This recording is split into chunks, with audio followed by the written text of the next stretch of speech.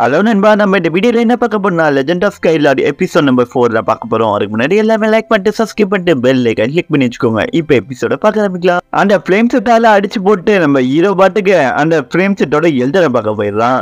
அந்த இடத்துல அந்த எழுதர் சுத்தமாக இவனை வரதை எதிர்பார்க்காம இவன் எப்போ இவ்வளோ சீக்கிரமாக வந்தாங்கிற மாதிரி ஹீரோவை திரும்பி பார்க்கலாம் அப்போ நம்ம ஹீரோ என்ன சொல்றேன்னா எனக்கு கொஞ்சம் ஹெல்ப் வேணும். அதாவது என் ப்ராக்டிஸ்க்கு ஹெல்ப் பண்ணும் அது உன் கூட சண்டை போட்டால் கிடைக்கும்னு நினைக்கிறேங்கிற மாதிரி சொல்கிறான் அதை கேட்டதுக்கு ஃப்ளேமோட இல்லை. அப்படியா? நீ என்ன அவ்வளோ பவர்ஃபுல்லாங்கிற மாதிரி சொல்லிட்டு அட்டாக் பண்ண வரான்.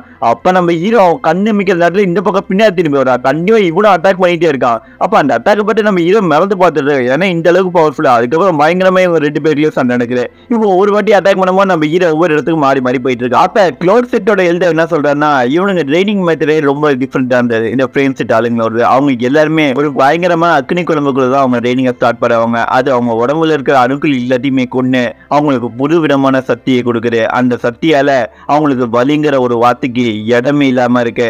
அப்படி இருக்கிறவங்க தான் இந்த ஃப்ரேம் செட் ஆளுங்கன்னு சொல்லிட்டு இருக்காங்க.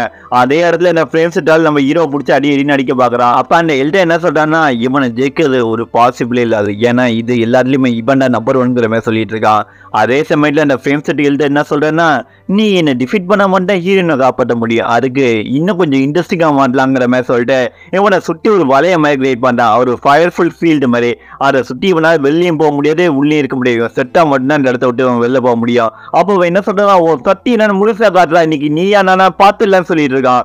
அதே சமயத்தில் ஒரு பயங்கரமா ஆயுத எடுத்து வச்சு நம்ம ஹீரோ அடிக்க பார்க்கறான் நம்ம ஹீரோ தப்பிச்சு பின்னாடி போயிடுறான். அப்ப பின்னாடில இருந்து பார்த்தா ஒரு ஃபயர்ல இருந்து ஒரு பீஸ் வந்து இவனை அட்டாக் பண்ண பார்க்குறது அந்த பீஸ்ட் தள்ளி விட்டு இவனை நம்ம ஹீரோ டண்டர் பால்லாம் கொடுத்து இந்த எல்டர் அட்டாக் பண்ணா ஆனா அந்த எல்டர் எதுவுமே பண்ணல. அப்புறம் ஓடி போய் ஹீரோனை காப்பாற்றலாம் பார்த்தா அவனால அவன் பாடி சுட் பண்ண முடியல. அந்த இடத்துல கண்டிப்பாவே அந்த எல்டர் இவனை அட்டாக் பண்ணி தள்ளி விட்டே இருக்கான். அதை பார்த்ததுக்கு அப்புறம் இதுக்கு ஒரே வழிதான் இருக்கு. இதை கண்டிப்பா நான் பண்ணி ஆகணுங்கிற மாதிரி சொல்லிட்டு நம்ம ஹீரோ உடம்புக்குள்ள அதாவது சேன் உடம்புக்குள்ள போயிட்டு ஏய் எங்கடா இருக்க? சீக்கிரமா வெளில வா. என்னால இதுக்கு மேலே சமாளிக்க முடியாதுன்னு நினைக்கிறேன். நீ உன் உடம்ப எனக்கு மொத்தமாக தாங்குற மாதிரி கேட்டுட்டு இருக்கான் அப்போ அவன் என்ன சொல்றேன்னா நம்ம நீங்கள் எனக்கு ப்ராமிஸ் பண்ணுங்க அவளை காப்பாற்றுவேன்னு சொல்லுங்க. அப்படி சொன்னீங்கன்னா என் உடம்ப மொத்தமாக தரேன். அப்போ இவன் என்ன சொல்கிறேன் எனக்கு அதில் இன்ட்ரெஸ்டிங் இல்லடாங்கிற மாதிரி சொல்லிட்டு இருக்கான். இந்த பக்கம் பார்த்தா இந்த எல்டரா அந்த பீஸ்ட சேர்ந்து அட்டாக் பண்ணி நம்ம ஹீரோவா அதை தந்தை போ வச்சு அந்த பீஸ்ட்டை ஃபஸ்ட்டு முடிச்சு விட்டுறான். எங்கடா இந்த எல்டர் போனாங்கிற மாதிரி நம்ம ஹீரோ ஜம்ப் பண்ண பார்த்தா நம்ம சேன் நம்ம ஹீரோ காலை முடிச்சு கெஞ்சிட்டு இருக்கா சீனியர் ப்ளீஸ் ஹெல்ப் பண்ணுங்க அவளை காப்பாடுங்க டேய் ஏன்டா சாவாடிக்கிற அதுக்கு என்ன ட்ரை பண்ணிட்டு இருக்கேங்கிற மாதிரி இவன் ஜம்ப் பண்ணி போக பார்க்குறான். தான் அந்த ஹீரோனை காப்பாத்துக்க அப்ப இந்த ஃப்ரேமோட எழுத ஒரு கழுகு மாதிரி எடுத்து நம்ம ஹீரோ அட்டாக் பண்ண அனுப்புறா அப்ப நம்ம ஹீரோ என்ன பண்றான்னா ஒரு அட்டாக் பண்ண ட்ரை பண்ணா அந்த இடத்துல எதுவுமே நம்ம ஹீரோவை பண்ண முடியல. இந்த பருவ ஃபுல்லா நம்ம ஹீரோவை கண்ட்ரோல் பண்ண முடியல. அதனால அந்த கழுகு இடிச்சுனால நம்ம ஹீரோ கீழே வந்துட்டு என்ன கொடுமடாருங்கிற மாதிரி நம்ம சாண முடிச்சு அடிச்சிட்டு இருக்கான் உள்ள. இது எதுவுமே தெரியாம அந்த எழுத ஃப்ரேமோட என்னடா பண்ணிட்டு இருக்கேங்கிற மாதிரி பார்த்துட்டு இருக்கான் வெளில பார்த்தா நம்ம ஹீரோ யாரும் கண்ணுக்கு தெரியாதவனை போட்டு அடிச்சிட்டு இருக்க மாதிரி இருக்கு. அப்ப இவன் என்ன பண்ணா ஒரு டிராவல் மேல வச்சு நம்ம ஹீரோ அட்டாக் பண்ண பாக்குறான் அப்ப நம்ம சான் காலை பிடிச்சிட்டு எனக்கு காப்பாற்றுவேன் ப்ராமிஸ் பண்ணுங்க மாதிரி கெஞ்சிட்டு இருக்கான் டேய் நான் இங்கே நானே செத்து போயிடுவோம் போல இருக்கா ஏடா உயிரை வாங்குறேங்கிற மாதிரி நம்ம ஈரை கேட்டுட்டு இருக்கான். டிராகனை மல்டிபிளா ஃபயர் அட்டாக் கொடுத்துருக்கு நம்ம ஹீரோவும் ஓரளவுக்கு ப்ரொடக்ஷன் சீல்டு போட்டுட்டு இருக்கான் அதே சமயம் எழுதுறது இது இன்னும் உனக்கு பட்டில போட வைக்க இன்னும் கொஞ்சம் எனர்ஜி அதிகப்படுத்தி இன்னும் ஃபயர் அதிகப்படுத்தினா நீ மொத்தமா முடிஞ்சு விடுவேங்கிற மாதிரி சொல்லிட்டு இருக்கான் அதை கேட்டதுக்கு அப்புறம் நம்ம ஹீரோ அப்படியா? அப்படி சாவுற மாதிரி நான் முதல்ல நான் தான் நான் உன்னை கொல்லுவேங்கிற மாதிரி சொல்லிட்டு இருக்கான் அதை கேட்டது இந்த ஃப்ரேமோட கருப்பாடி எவ்வளவு தைரியம் என்ன இப்படி பேசுவேன்னு சொல்லிட்டு திரும்பி இன்னொரு டிராகனை வர வச்சு அட்டாக் பண்ண பாக்குறான் அதை பார்த்துக்கப்ப அப்புறம் பொறுமையா இருக்க முடியாதுன்னு அந்த டீமன் ஃபிளேம்னு ஒன்று சொன்னல அரை வெளில வர வச்சு அந்த வேல்கள்லாம் வச்சு இந்த டிராகனை மொத்தமா முடிச்சு முடிச்சு விட்டுறான் நம்ம ஹீரோ அந்த இடத்துல. அரை சுத்தமா எதிர்பார்க்காத ஃப்ரேமோடு தான் பார்த்துட்டு இருக்க மாதிரி அந்த வேலைகளை வச்சு இந்த ஃப்ரேமோட இதுக்கு நம்ம கண்டிப்பா நம்ம ஹீரோ பிடிக்க ட்ரை பண்ணிட்டு இருக்கான் ஆனா ஃப்ரேமோட இதுல சும்மா அசால்ட்டா பண்ணி தப்பிச்சிட்டு இருந்தேன் ஆனா ஒரு ஸ்டைல நம்ம ஹீரோ வந்து அந்த ஃப்ரேமோட பிடிச்சி மொத்தமா லாக் பண்ணிடுறான். அப்ப நம்ம ஹீரோ என்ன சொல்றேன்னா உன்னோட ஃபயர் கொஞ்சம் அடைஞ்சு போன மாதிரி இருக்குங்கிற மாதிரி அந்த எழுதரை பிடிச்சி கலாய்ச்சிட்டு இருக்கான். அப்ப நம்ம ஹீரோட கையை பார்த்தா நம்ம ஹீரோ கையில நடுங்குது என்னடா இது? இந்த உடம்புல இவ்வளவு ப்ராப்ளம் இருக்குங்கிற மாதிரி பார்த்துட்டு இருக்கான். இப்போ இது என்ன சொல்கிறேன்னா இந்த ஃப்ளேம் அதாவது இந்த வேர்கள் என்ன பண்ணும் தெரியுமா? உன்னோட ஃபயர் எனர்ஜி மொத்தமா முடிஞ்சு ஓ எனர்ஜியை மொத்தமா அழிச்சிருங்கிற மாதிரி சொல்லிட்டு இருக்கான். அதை கேட்டதுக்கு அப்புறம் அது வந்து டிரான்ஸ்ஃபர்மேஷன்ங்கிற மாதிரி சொல்றாரு. சொன்னதுக்கு அப்புறம் வெளில வந்து அவன் உள் டிரான்ஸ்ஃபர்மேஷனில் மாறுறான். அதாவது அவன் தான் சொன்னல அதில் அக்னி குடம்புல ட்ரைனிங் எடுத்திருப்பானு அதனால அவன் உடம்புலாம் பயங்கரமா மாறி ஒரு அக்னி குடம் மாதிரியே மாறுது. அதுக்கப்புறம் நம்ம ஹீரோ அட்டாக் பண்ண வரா நம்ம ஹீரோ தள்ளி போயிடலாம் அதுக்கப்புறம் கண்டிப்பா நம்ம ஹீரோ அட்டாக் பண்ண வந்துட்டு இருக்கா நம்ம ஹீரோ சமாளிக்க முடியும் கஷ்டப்பட்டு திரும்பி அந்த வச்சு பிடிக்க பார்க்குறான் ஆனா அதுலேருந்து ஈஸியாக தப்பிச்சிட்டு இருக்கான் ஏன்னா இவன் ஒரு ஃபிளேம் மாதிரி மாறி அப்படியே வெஸ்ட் ஆகிட்டு இருக்கான் கண்டிப்பா நம்ம ஹீரோ அட்டாக் பண்ண வர நம்ம ஹீரோ வெட்டி தப்பிச்சு தப்பிச்சு போயிட்டு இருக்கான் அதுக்கப்புறம் முட்டை சைனிங் மாதிரி ஒண்ணு வைக்கிறான். அந்த சைனிங்ல இருந்து வெஸ்ட் ஆகி நம்ம ஹீரோ அட்டாக் பண்ண வரா அதுக்கப்புறம் நம்ம ஹீரோ ஜம்ப் பண்ணி தப்பிச்சிடுறான். அப்ப நம்ம ஹீரோ ஷாக்கா பார்த்துட்டு இருக்கும்போது இந்த ஹெல்த் என்ன சொல்றேன்னா என்னோட நெருப்பை எவனாலே அழிக்க முடியாதுங்கிற மாதிரி சொல்லிட்டு இருக்கான். அதை கேட்டதுக்கப்புறம் நம்ம ஹீரோ உள்ள போயிட்டு சேனுக்கிட்ட என்ன சொல்றேன்னா உன் பாடி எனக்கு ஃபுல்லா கண்ட்ரோல் கொடுங்கிற மாதிரி கேட்கலாம் நம்ம சேன் என்ன சொல்றேன்னா ஆனா நான் கொடுக்க தராது இருக்கேன். ஆனா எனக்காக நீ ஒரு விஷயம் பண்ணுங்கிற மாதிரி சொல்லிட்டு இருக்க மாதிரி நம்ம ஹீரோ என்ன சொல்றானா ஏய் இந்த பாடியை மொத்தமா நீ கண்ட்ரோல் கொடுத்த மட்டும் அவனை என்ன டிஃபீட் பண்ண முடியும் ஹீரோயினும் காப்பாற்ற முடியும். உனக்கு புரியுதா இல்லையா? மாதிரி கேட்கறான் அப்ப அதை கேட்டதுக்கப்புறம் நம்ம அப்போ அப்ப நம்ம ஹீரோயினை நீங்க காப்பாத்துவீங்களா? கடைசி காப்பாற்றுவீங்களா காப்பாத்துவீங்களா நம்ம ஹீரோ என்ன சொல்றானா சரி ஓகே உனக்கு ஒரு வாய்ப்பு தரேன். நீ முடிஞ்ச அவளை போய் காப்பாற்றிக்கோ முதல்லங்கிற மாதிரி சொல்லிட்டு இவனை வெளில அனுப்புறான்.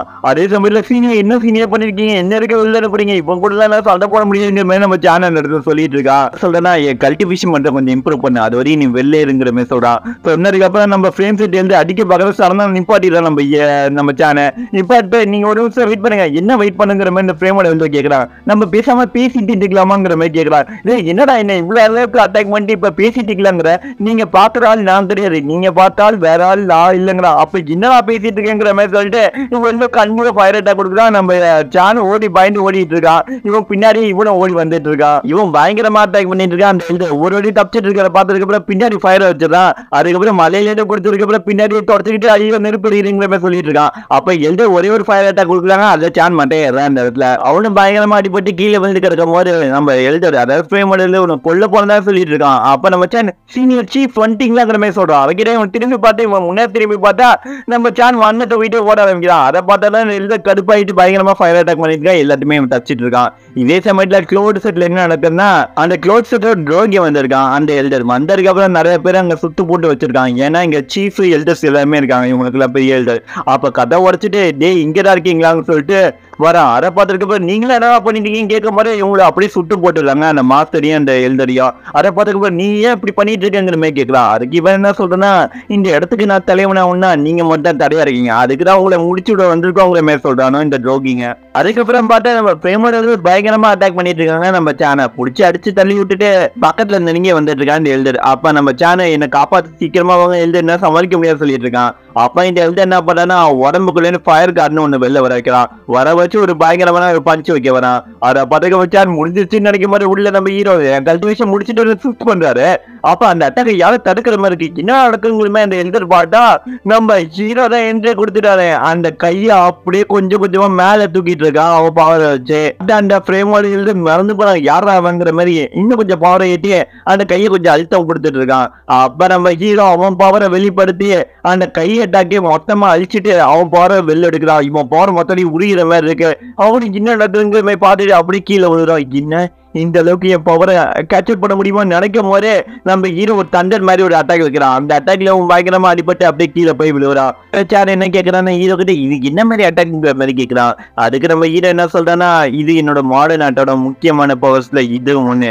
இந்த பவரோட லெவல் த்ரீ தான். அந்த அளவுக்கு நீ நினைக்கிற அளவுக்கு பவர்ஃபுல் இல்லைங்கிற மாதிரி சொல்லிட்டு நம்ம ஹீரோ வெளில இருக்கிற அந்த வில்லம் பக்கத்துல அதாவது அந்த ஃபிளேமோட எழுத பக்கத்துல ஒன்று மொட்டமா முடிச்சிடணும்னு சொல்லிட்டு தண்டர் அட்டாக் பண்ண வரான். அப்ப அங்க இருக்க ட்ரோகிங்லாம் வந்து யார் அவன் மாஸ்க் போட்டு நம்பாலே அடிச்சிட்டு இருக்காங்கிற மாதிரி பாக்குறேன் அதை பார்த்ததுக்கு அப்புறம் ரொம்ப நேரமா பார்த்துட்டு இருக்கீங்களேப்பா. என்ன உங்களுக்கும் இது மாதிரி அட்டாக் பண்ணுமா என்னங்கிற மாதிரி நம்ம ஹீரோ கேட்ட இவனுங்க எல்லாம் பார்த்து மறந்து போயிட்டு ஐயா வேணாங்கிற மாதிரி சொல்லிட்டு மைண்ட் ஓட ஆரம்பிச்சிடறானா. யூஸ் பண்ணி இந்த ஃபேமோட சிரிச்சுக்கிட்டு அந்த இடத்த விட்டு எடுத்தாயிடான் அதை பார்த்ததுக்கு அப்புறம் ஓடி போறாங்கிற மாதிரி நம்ம ஹீரோவும் பார்த்துட்டு இருக்கான். அந்த இடத்துல நம்ம ஹீரோட கீழே விழுந்து கிடக்குறாங்க.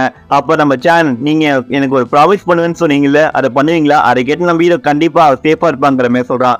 அப்ப நம்ம ஹீரோ காலை பிடிச்சி திரும்பி கெஞ்சிட்டு இருக்கேன். என்னடா பண்ணிட்டு இருக்கேங்கிற மாதிரி அப்போ நம்ம சேனல்லாம் சொல்லலாம் ஒரே வாட்டி அவள் பக்கத்தை போய் நான் பார்க்கற ஆசைப்படுறேன். அதுக்கு மட்டும் எனக்கு அனுமதி கொடுப்பீங்களா? அதை கேட்ட நம்ம ஈரவன் மேலே இறக்கப்பட்டு இவளை பக்கத்தில் வர வைக்கிறான். அப்போ நம்ம சேனல் பக்கத்தில் வந்து ஒன்று என்னால் இதுக்கு மேலே ப்ரெடிக்ட் பண்ண முடியாது. இனிமேல் சீனியர் தான் உன்னை ப்ரெடிக்ட் பண்ணுவாங்கிற மாதிரி சொல்லிட்டு இருக்கான். அதுக்கப்புறம் இவன் கூட இருந்த நினைவுகள்லாம் யோசிச்சு பார்த்துருக்கான். ஏன்னா அந்த அளவுக்கு இந்த பொண்ணை லவ் பண்ணிருப்பா உடம்பே ஒருத்தர் ஸ்விட்ச் பண்ணி என் வாழ்க்கையை உனக்கு தரேன்னா அந்த அளவுக்கு அந்த பொண்ணு லவ் பண்ணுவான். இப்போ சூழல் அப்படியே டிஸ்டர்பர் ஆகுது. அந்த இடத்துல அவன் என்ன சொல்றானா ப்ளீஸ் எனக்கு அதை அவளை ப்ரொடியூட் பண்ணுங்க சீனிங்கிற மாதிரி சொல்லிட்டு அந்த இடத்துல அவனும் மறந்து போயிட்டு இருக்கான். அதெல்லாம் பார்த்து நம்ம ஹீரோவும் கொஞ்சம் இறக்கப்பட ஆரம்பிக்கிறான் ஏன்னா இந்த பொண்ணை இவன் எந்த அளவுக்கு லவ் பண்ணியிருந்தா அவன் உடம்பே நீங்க வச்சுக்கோன்னு சொல்லிட்டு கொடுப்பான் அதுக்கப்புறம் நம்ம ஹீரோவும் வெளில வந்ததுக்கு அப்புறம் நார்மல் வேர்ல்டுக்குள்ள வந்ததுக்கு அப்புறம் இவன் லவ் அந்த அளவுக்கு பெருசா என்ன? எனக்கு இந்த லவ்வை பற்றி சுத்தமா இது வரையும் புரியல. ஆனா இவனுக்கு ஒரு ப்ராமிஸ் பண்ணியிருக்கேன். இந்த பொண்ணை ப்ரொடெக்ட் பண்ணுவேன்னு. அதை நான் கண்டிப்பா கடைசி வரையும் பண்ணுவேங்கிற மாதிரி நினைச்சிட்டு முன்னாடி போறா.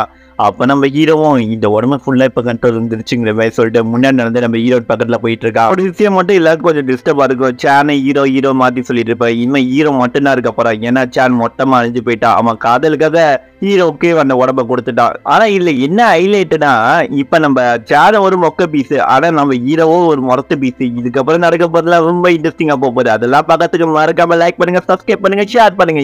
இது வாய்ஸ் ஓவர்